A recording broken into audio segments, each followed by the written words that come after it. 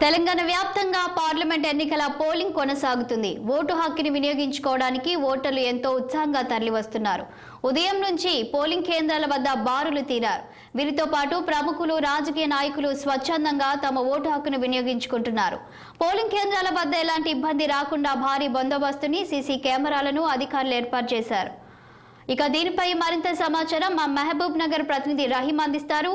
రహీం చెప్పండి ఇక మహబూబ్ నగర్లో పోలింగ్ ఏ విధంగా జరుగుతుంది? అలాగే మహబూబ్ నగర్ కొడంగాలో సీఎం రేవంత్ రెడ్డి ఓటు హక్కు వేసుకున్నారా? ఇంకా రాజకీయ ప్రముఖులు ఎవరెవరు ఓటు హక్కును వినియోగించుకున్నారు? గుడ్ ఆఫ్టర్నూన్ శాలిని ఏదైతే ఉమ్మడి మహబూబ్నగర్ జిల్లాలో ఏదైతే సీఎం కొడంగల్ కాన్స్టెన్సీలో సీఎం రేవంత్ రెడ్డి సతీమణి అలాగే కుమార్తె ఓటు వినియోగించుకున్నారు ప్రశాంతంగా ఓటింగ్ కొనసాగుతుందని చెప్పవచ్చు. అంతేకాకుండా ఉమ్మడి మహబూబ్నగర్ జిల్లాలలో ఉన్న మహబూబ్ నగర్ కావచ్చు అలాగే నగర్ కావచ్చు రెండు పార్లమెంట్ పార్లమెంట్ గాను ప్రశాంతంగా ఓటింగ్ కొనసాగుతుంది. ఏదైతే మహబూబ్ నగర్ పార్లమెంట్ విషయానికి వస్తే మహబూబ్ నగర్లో twenty seven point seven percentage poll అయ్యింది. ఏదైతే నాగర్ కర్నూలు విషయానికి వస్తే twenty six point nine nine polling percentage అయ్యింది.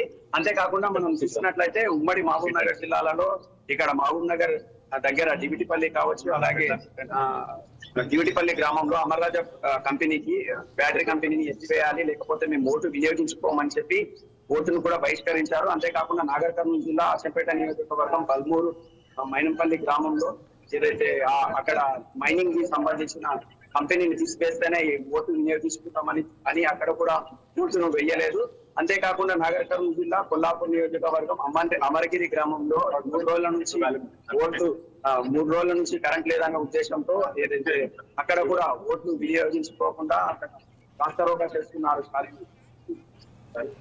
ఎస్ రహీం మనం చూస్తున్నాము రెండు మూడు గ్రామాల్లో అయితే ఓట్లను బహిష్కరించారు గ్రామ ప్రజలు. ఎందుకు కారణం ఏంటి? మరి సాయంత్రం వరకైనా వాళ్ళు ఓట్లు వేసే అవకాశం ఉందా? అదే రామసులి దిగిపల్లి కావచ్చు అలాగే అచ్చపేటలో బల్మూరు మైనంపల్లి కావచ్చు అలాగే అమరగిరి కావచ్చు. మూడు గ్రామాలలో సాయంత్రం వరకు సాయంత్రం ఆరు గంటల వరకు సమయం ఉంది కాబట్టి ఆరు గంటల వరకు ఓట్లు వినియోగించుకుంటారా లేక ఇలాగనే బహిష్కరిస్తారా అనేది అయితే వేచి చూడాల్సిందే. ఇంకా సమయం ఉంది. మొత్తానికైతే వేచి చూడాల్సిందే స్టాలిన్. రహీం ఇక పోలింగ్ ఏ విధంగా జరుగుతుంది? ఉదయం నుంచి మధ్యాహ్నం వరకు అధికారులు ఎలాంటి ఏర్పాట్లు చేశారు? వాటి ద్వారా ఓటర్లు సంతృప్తిగా ఉన్నారా?